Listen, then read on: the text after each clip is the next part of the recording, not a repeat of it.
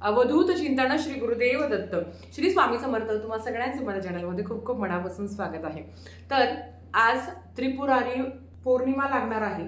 तर त्याचा जो कालावधी आहे तो दुपारी तीन वाजून चोपन्न मिनिटांनी आहे. म्हणजे आज दुपारी तीन वाजून चोपन्न मिनिटांनी लागणार आहे आणि उद्या एक वाजून पस्तीस मिनिटांनी संपणार आहे. बऱ्याच काही प्रश्नांची उत्तरं तुम्हाला मी सुरुवातीला देते. की सत्यनारायण कधी करायचं? तर लक्षात घ्या सत्यनारायण तुम्हाला आज संध्याकाळीच करायचं आहे. सत्यनारायण हे त्या काळात करायचं असतं. म्हणजे आता तुम्ही म्हणाल की उद्या सूर्याने बघितलेली आहे. एक वाजून पस्तीस मिनिटांनी संपणार आहे. तर मग काय करायचं? लक्षात घ्या सत्यनारायण तुम्हाला आजच करायचं आहे. उद्या सूर्याने जरी बघितली आहे पण ती एक वाजून पस्तीस मिनिटानंतर संपणार आहे. दुसरं वाती कधी जाळायच्या? ह्या वाती आज संध्याकाळी जाळायच्या असतात. आज संध्याकाळी म्हणजे रविवारी संध्याकाळीच वाती जाळायच्या आहे.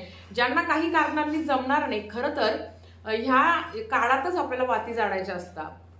पौर्णिमा ही उद्या दुपारी एक वाजून पस्तीस मिनिटांनी संपणार आहे. त्याच्या न- नंतर वाती जाळण्यात अर्थ नाहीये. म्हणून तुम्हाला सांगते की वाती पण तुम्हाला आजच जाळायची आहे. सत्यनारायण पण तुम्हाला आजच करायचं आहे.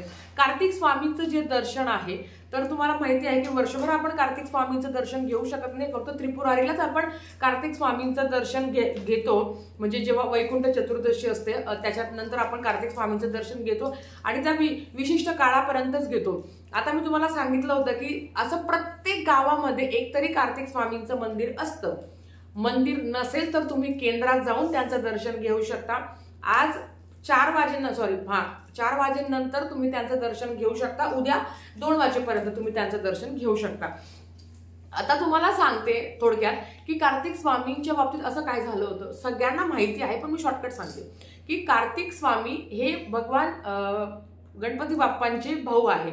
म्हणजेच भगवान शंकर आणि माता पार्वतीचे मुलगा आहे. एक दिवस असेच ते गप्पा मारत बसताना ते भगवान शंकर आणि माता पार्वती कार्तिक स्वामींना आणि गणपती बाप्पांना सांग सांगते की जो कोणी ह्या संपूर्ण सृष्टीला लवकर प्रदक्षिणा मारून येईल तो जिंकेल. असं ते सांगता. मग काय होतं?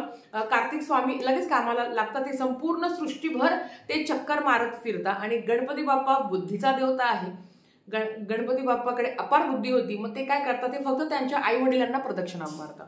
आणि ग आणि कार्तिक स्वामी बघता की ते ते संपूर्ण सृष्टीला प्रदक्षिणा मारता आहे आणि गणपती बाप्पा प्रदक्षिणा घेऊन ते तिथे बसले पण.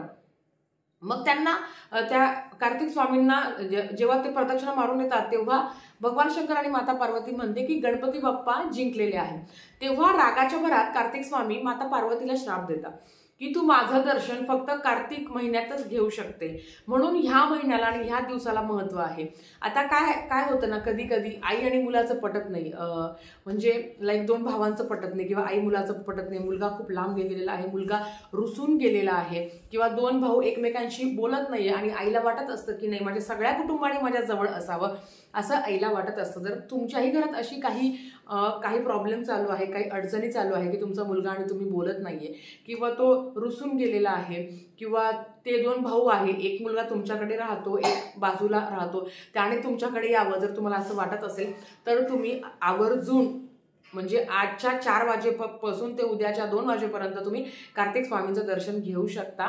असं म्हटलं जातं की याने जर तुम्ही कार्तिक स्वामींच्या मंदिरात गेले त्यांनाही तुमची अडचण सांगा की माझा मुलगा म्हणजे रुसून गेलेला आहे त्याने लवकर आमच्या घरात येऊ दे माझं घरही गोकुळासारखं होऊ दे अशी प्रार्थना तुम्ही करू शकता जर तुमच्या घरात असे वादविवाद असतील तर.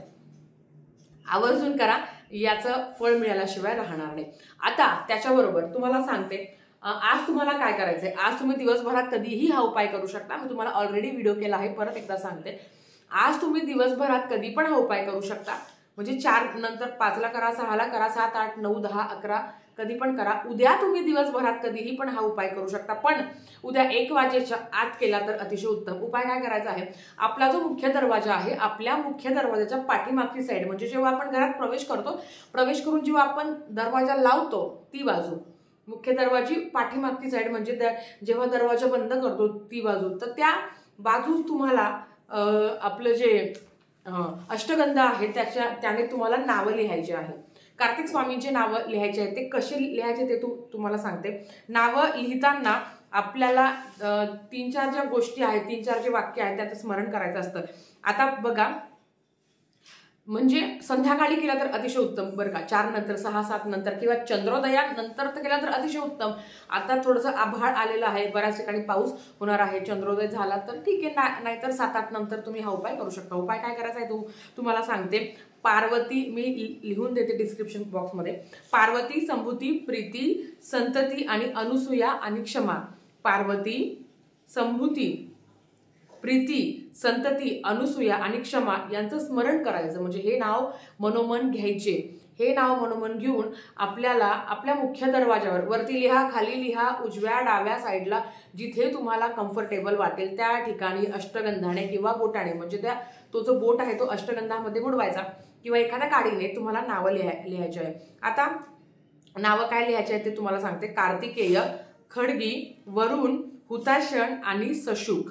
हे नावं तुम्हाला तुमच्या मुख्य दरवाजाच्या पाठीमागे लिहायचे आहे. कुठे पण लिहावरती खाली इकडे तिकडे तुमची इच्छा. आता हे नावं लिहून त्यांची पंचोपचार पूजा करायची असते. म्हणजे काय करायचं? त्यांना हळद कुंकू अर्पण करा धूप दीप ओवाळा आणि त्यांच्या पाया पडा.